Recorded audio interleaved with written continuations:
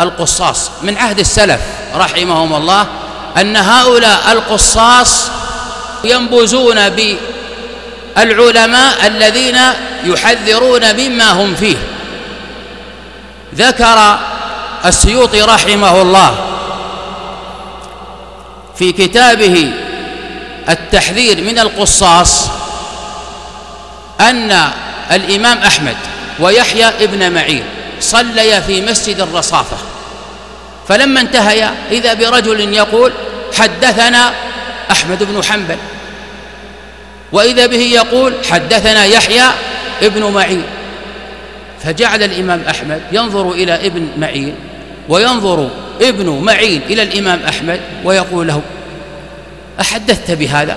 فقال الإمام أحمد والله ما سمعت هذا إلا هذه الساعة. فلما انتهى طلبه فلما أتى هذا الرجل فقال يحيى ابن معين أنا يحيى وهذا أحمد بن حنبل وما حدثناك يا كذاب؟